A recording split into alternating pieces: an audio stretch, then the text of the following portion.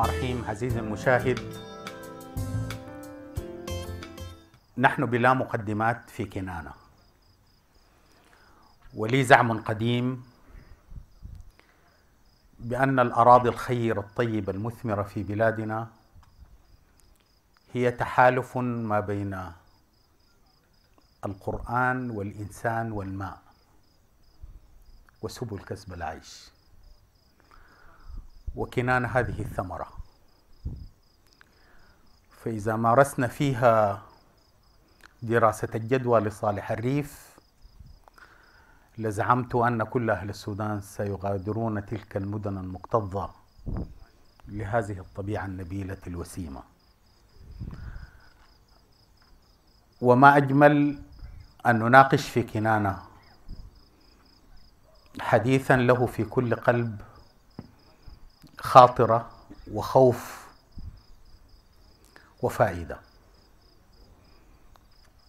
قصة الإدارة في السودان وسودنة الإدارة في السودان. وما أجمل هذا الحديث إذا كان في قيد النقد الذاتي وإذا كان مربوطا بتجربة عملية.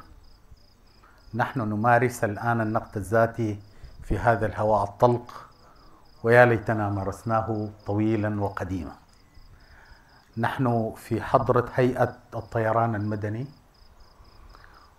وفي ضيافة الباشمهندس محمد عبد العزيز الذي درج في بداية كل عام أن يستقطب قرابة المئة من رجاله الذين يصنعون بيئة العمل ويلاحقونه ويديرونه.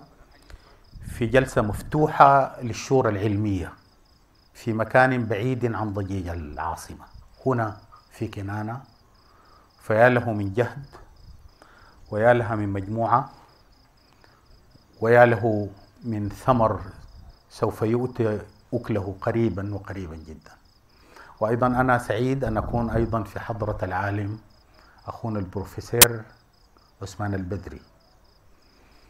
رئيس قسم الدراسات العليا بكلية الاقتصاد جامعة الخرطوم لكن أقيم من ذلك هو فلاح من أبناء الجزيرة. ما زال يحتفظ بقلمه وبحاسوبه وبحواشته إلا إذا كان هنالك اعتراف آخر. وسعيد جدا أن يكون فنان هذا العرس الفكري أخونا الفنان الكبير حمد الريح وحمد الريح له فرح ولوعة فرحة في قلب كل سوداني وسودانية. فكل أهل السودان عشاق. عزيزي حمد لا تخفي ما فعلت بك الأشواق. اشرح هواك فكلنا عشاق. فلقد يعينك من شكوت له شكوت له الهوى في حمله فالعاشقون رفاق. ونحن رفاقك في هذا المساء الجميل. فدعنا نلملم أطراف القلق والمنابر والعيون وما بين القاهرة والخرطوم. هنالك هذوجه تعيد لنا الطمأنينة. ليل البعد والغربة. فماذا أنت فاعل في هذا المساء؟ السلام عليكم ورحمة الله. أنا سعيد جدا جدا أكون وسط هذه الكوكبة من الرجال وهذا المكان الجميل. ويا ريت لو الكاميرا التقطت صورة للقمر عشان يكون ده القمر في كنانة فعلا. فأنا أول ما جيت لاحظت المسألة دي.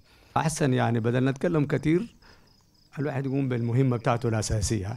هاي نغني كثير فنغني نار البعد والغربة. وأنا استشفيت من كلامك ما بين القاهرة والخرطوم إنك قصدت الأغنية دي بالمناسبة.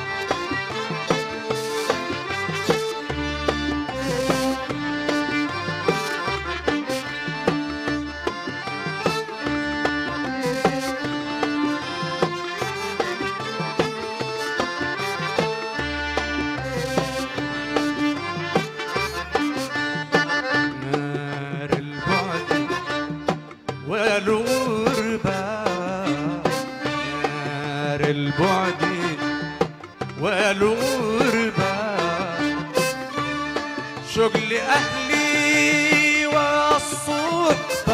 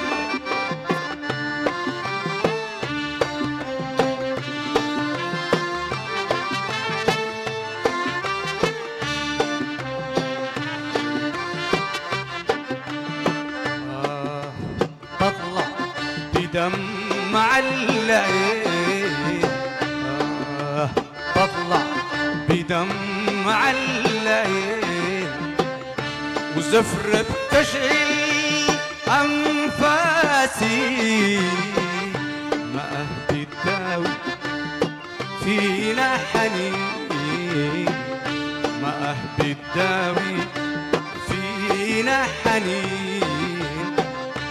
ولا الزفرة تجيب ناسي بين اليغيظة ولا أحلام بين أجفان تقول لنا أريد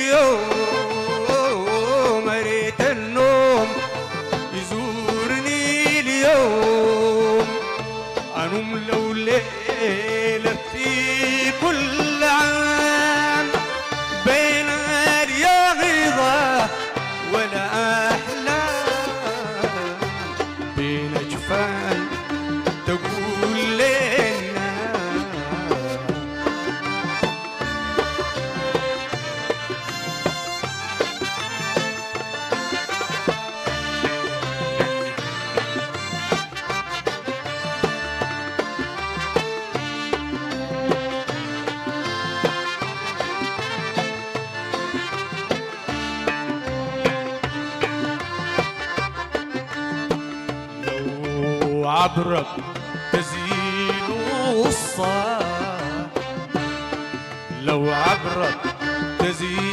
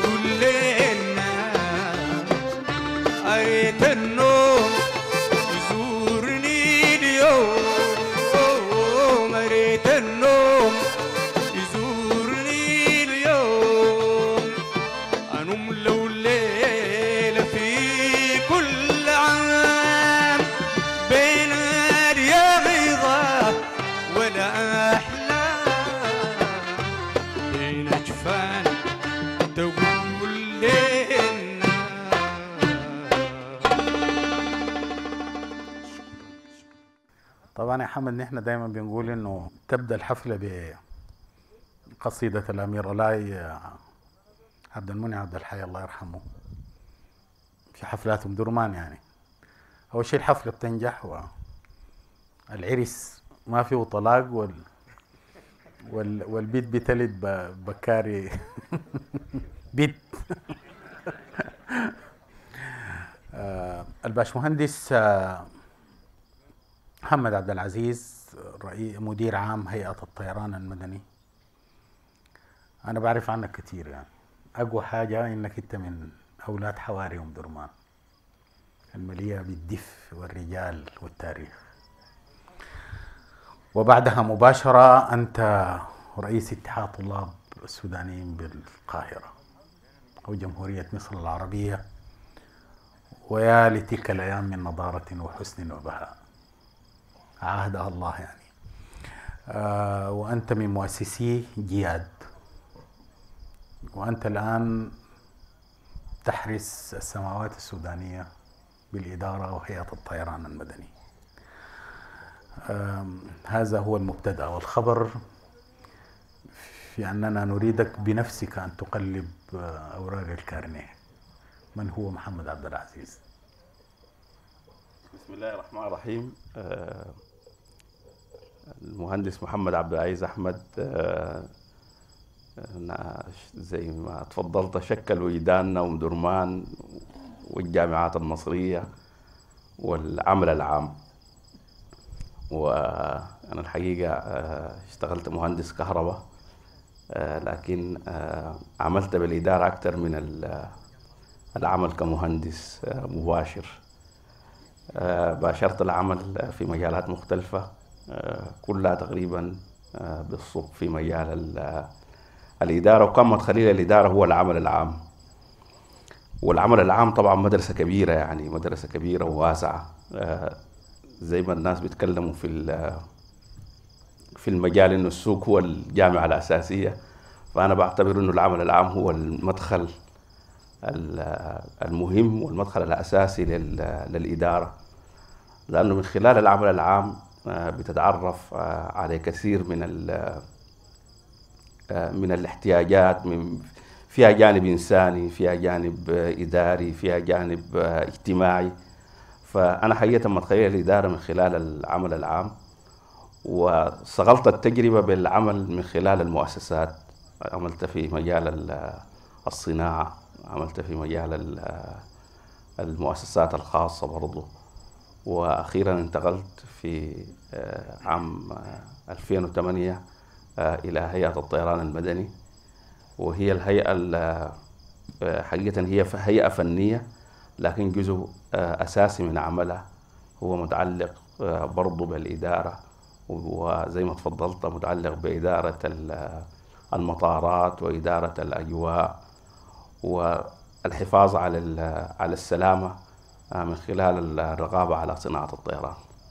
يعني حسيت يا محمد آه، السوداني الوحيد ممكن تقول آه، ما بنطبق عليك المثل بتاع سبع صنايع والحظ ضايع.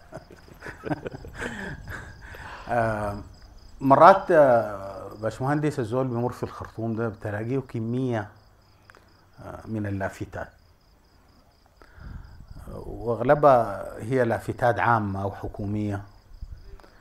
آه، نحن غاية الشعب السوداني بيدفع رواتبها لكن مرات ما بي ما بيدلف لها يعني. آه، واحدة من اللافتات هيئة الطيران المدني. وبعدين آه، هي زي عاملة اختلال في فهم كثير من الناس. ناس بيفتكروها سودانير ناس بيفتكروها الحج والعمرة ناس بيفتكروها طيارات بيفتكروها ال- ال- وكالة السفر والسياحة يعني القصة ما وقع علينا. نحن لأنه بندفع رواتبكم وكذا فمن حقنا إننا نفتح الباب وتعمل لنا تعريف جامع مانع للخاصة والعامة ما هي هذه اللافتة هيئة الطيران المدني. ولا ما داري إننا نعرفها. لا تعرف. هيئة الطيران المدني آه، هي طبعا مؤسسة عامة. آه، وهيئة الطيران المدني من المؤسسات العريقة جدا في السودان. نشأت سنة 1937 آه، بمكتب السكرتير الإداري. والآن نحن تقريبا شعارنا في هيئة الطيران المدني 75 عام من إدارة الأجواء. آه، بدأت مصلحة وكان منوط بها في الوقت ذاك إدارة إدارة المطارات. الطيران المدني في العالم آه، طبعا بدأ آه، في بدايات القرن الماضي وكانت الفكرة الأساسية أن الطيران المدني مسؤول عن عن المطارات مسؤول عن إدارة الحركة الجوية مسؤول عن السلامة الجوية. وبالضرورة طبعا الطيران المدني بيختلف من من الخطوط الجوية آه، لأنه ال- إذا كانت الخطوط الجوية آه، بتحلق في الهواء فنحن مسؤولين من الأرض مسؤولين من المطارات ومسؤولين من سلامة الركاب. ومسؤولين برضو آه، من من السلامة آه، في ال في ال آه، في الأجواء. والهيئة آه، هي مؤسسة زي ما ذكرت بدأت آه، في الوقت ذاك وهيئات الطيران المدني في كل العالم مجال الطيران من المجال المنظم جدا في العالم. وعنده امتداد داخلي وعنده. امتداد داخلي وامتداد خارجي لأنه زي السفر موصول. المطارات موصولة الحركة الجوية موصولة. فمهمة الطيران المدني هو آه، آه، باختصار جديد آه، شديد تيسير السفر تيسير التواصل بين دول العالم. ولذلك القطاع بتاع الطيران قطاع منظم بتحكمه لوائح وبتحكمه قوانين وبتحكمه نظم وبتحكمه إجراءات. وهو كله في المنظمة العالمية للطيران المدني هي بمثابة الرقيب والمنظم لحركة الطيران في كل العالم. ولذلك قطاع الطيران والهيئة العامة للطيران المدني آه، بهذا المفهوم آه، هي مختلفة من الخطوط الجوية مختلفة من الحج والعمرة وهي الجهة المنوط بها إدارة السلامة وإدارة المطارات وهي الرقيب على الخطوط الجوية المختلفة. دكتور بروفيسور عثمان آه، باشمهندس ده ما دس علينا حاجة كده ولا الفرق بين إدارة الحركة الجوية والحركة الجوية إنه الحركة الجوية الفعلية تقوم بها الشركات المشقلة سودانير السعودية البريطانية غيرها. لكن الطيران المدني هو يدير الحركة الجوية ينظمها ويخططها ويراقبها. ويحفظ حقوق ال- المسافرين. أنا أنا الحقيقة آه، باشمهندس آه، بروف آه، داير توصل بيكم لحاجة. في زعمي في السودان إنه ليست مشاكل السودان مشاكل موارد. ولكن من مشاكل السودان الكبرى مشاكل إدارية. والناس بيفتكروا إنه لسه التجربة الإدارية على كل المستويات آه، السياسية والاقتصادية والاجتماعية والفنية. الدماغ الذي يعين الناس يعتقد بأنها هي جزء من ال- الثقافة العامة يعني. مع إنه تعرف يا بروف إنه في كل أنحاء العالم الآن اتشطبت قصة الإدارة العامة دي فكرة الإدارة المتخصصة. انت بتعرف تدير شنو يعني؟ ف أنا أول حاجة داير أشوف هل الزعم ده صحيح؟ هل هل فعلا مشكلات الإدارة في السودان ببعدها السياسي والاقتصادي والاجتماعي هي جزء كبير من مشكلاتنا العامة؟ الإدارة معنية بالتخطيط لاستغلال الموارد المتاحة البشرية والمادية والتقنية. في زمن محدد للوصول لنتائج محددة بكفاءة محددة. والموارد إذا كان في نظام إداري وفلسفة إدارية آه، ممتازة يمكن جلب الموارد. والمثال على ذلك اليابان لا ت... كلها منطقة صخرية صغيرة جدا جدا. والولايات المتحدة تفوقت على العالم بال... بحسن الإدارة.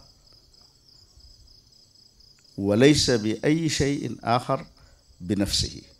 صحيح عندها موارد لكن هي تطورت بالتطوير الإداري. جزء من التطوير الإداري طبعا أهم ما فيه هو إدارة المشروعات إدارة نظم المعلومات ونحن مهملين هذا ال- الأمر. الرسول صلى الله عليه وسلم أول ما جاء المدينة أول قرار اتخذه قال أحصوا لي المسلمين لأنه فيها مسلمين وفيها يهود وفيها مسيحيين داير يبني قاعدة معلومات يتخذ على قراراته. فنحن إذا ما أحسننا ال- الإدارة آه، بنهدر الموارد.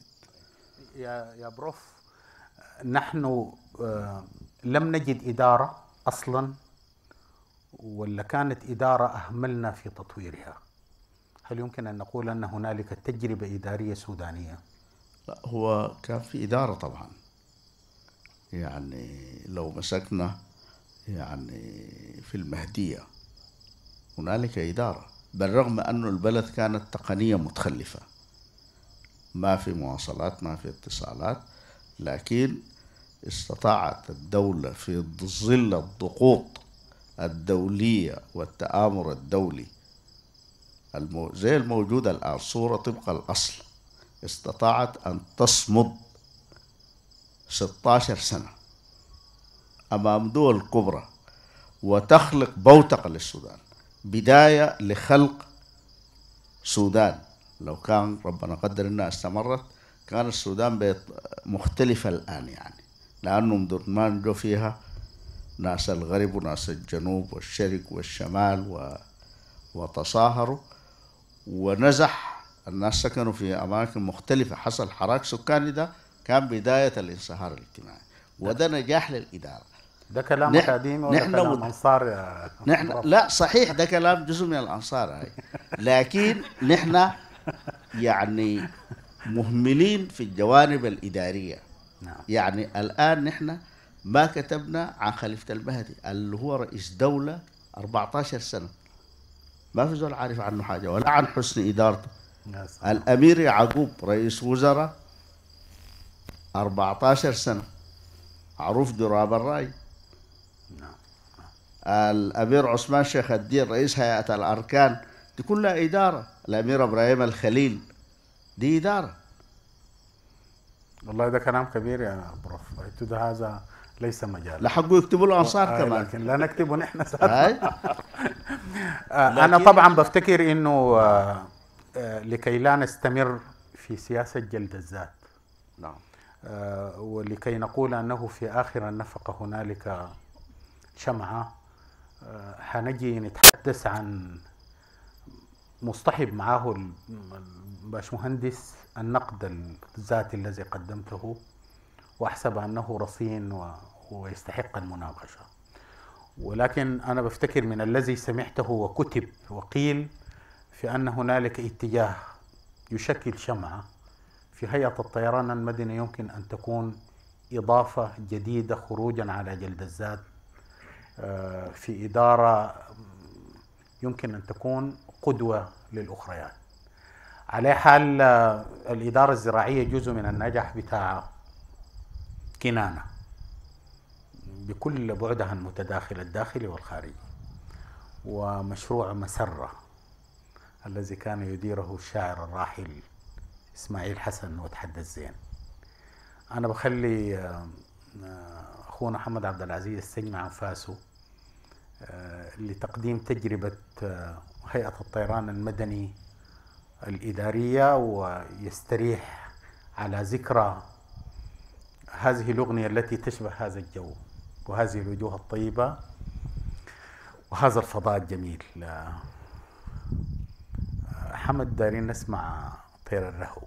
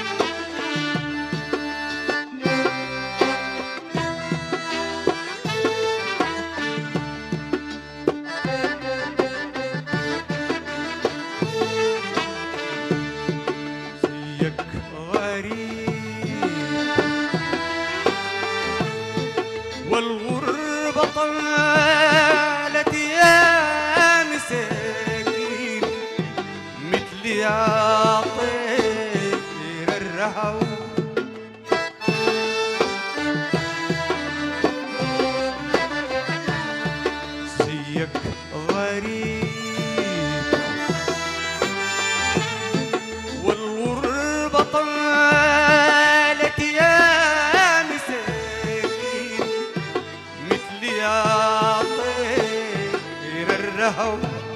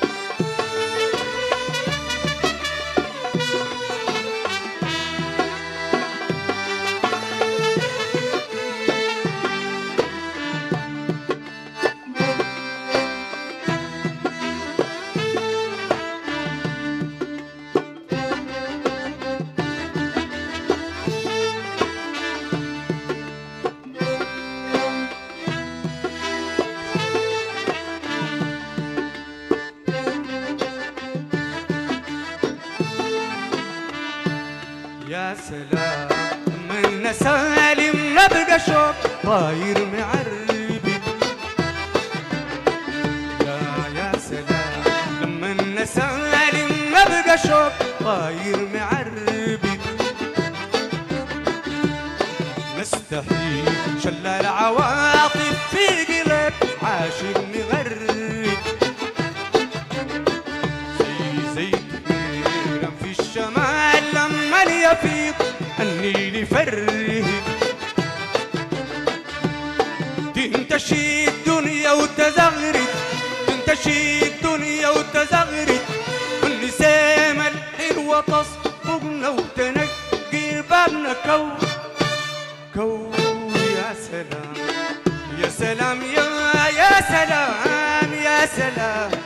تنتشي الدنيا وتزغرد تنتشي الدنيا وتزغرد. من نسام الحلوة تصبغنا وتنقي بابنا كو كو يا سلام يا سلام يا يا سلام يا سلام.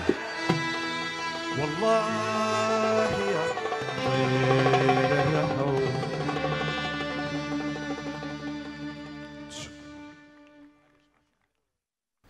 تعرف يا حمد كل ما زول يسمع طير الرهو يعني.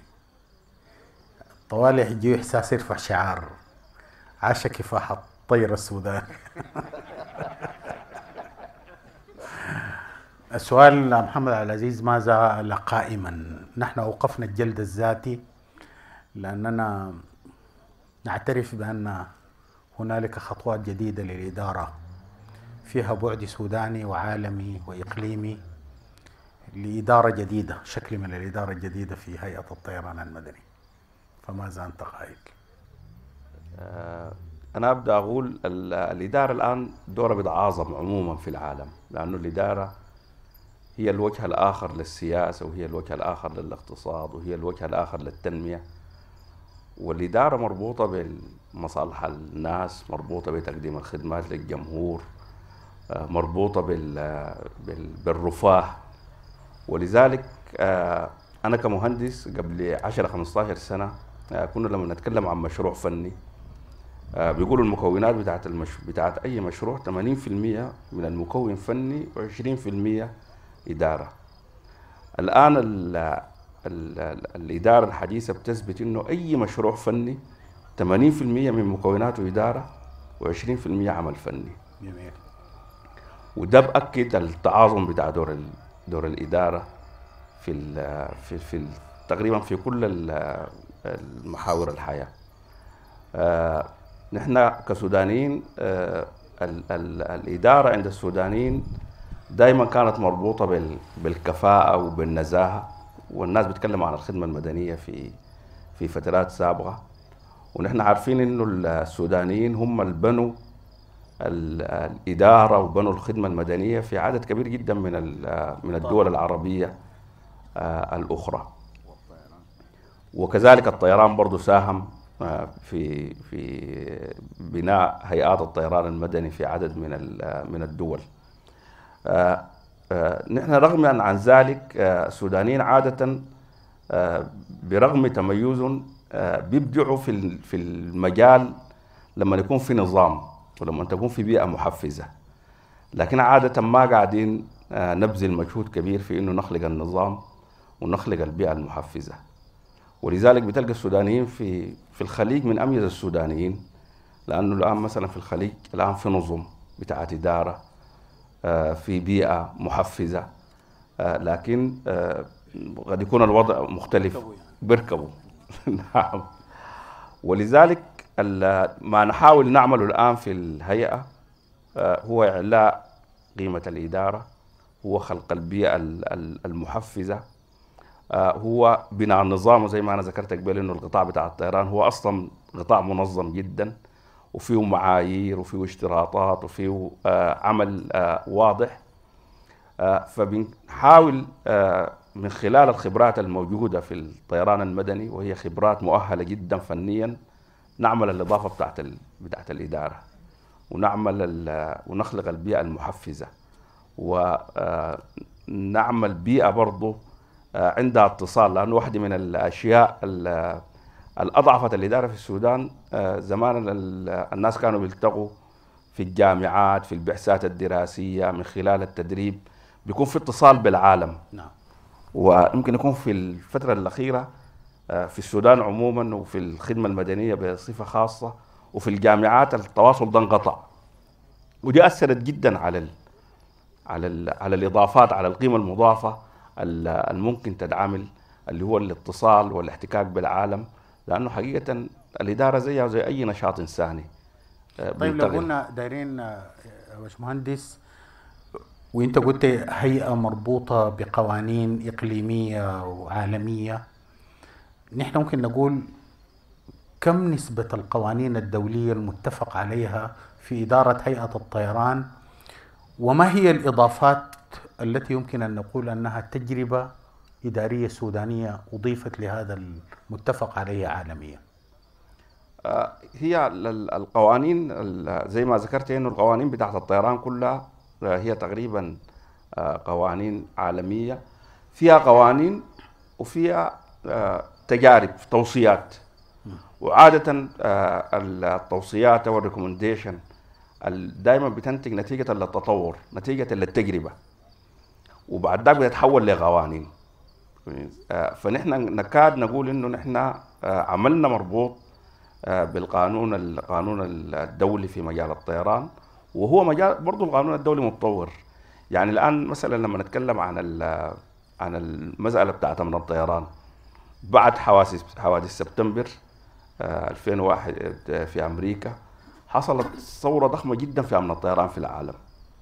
ودي نتيجة ال- ال- الحادثة المعروفة آه، حادثة الأبراج الأمريكية. فبالتالي القوانين بتاعت الطيران بتطورها الحوادث وبتطورها التجارب. وهي ليست جامدة. آه، نحن بنحاول في هيئه الطيران المدني إنه آه، نكون مواكبين. آه، القوانين العالمية عندنا. آخر قانون صدر في عام 2010 قانون تنظيم الطيران المدني وقانون السلامة الجوية وهو آه، مواكب آه، لأحدث التجارب آه، في العالم. صحيح نحن قدامنا شوط طويل آه، من ناحية اكمال المظلة التشريعية من ناحية تحويل هذه القوانين لعمل يومي لإجراءات لنظم آه، يتعودوا الناس عليها.